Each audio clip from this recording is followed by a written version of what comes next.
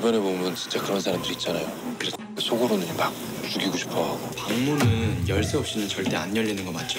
새로운 아저씨도 빨리 작업하고 싶다. 그러고 보니까 주포 아저씨도 갑자기 안 보이고 뭐 좀 이상하지 않아요?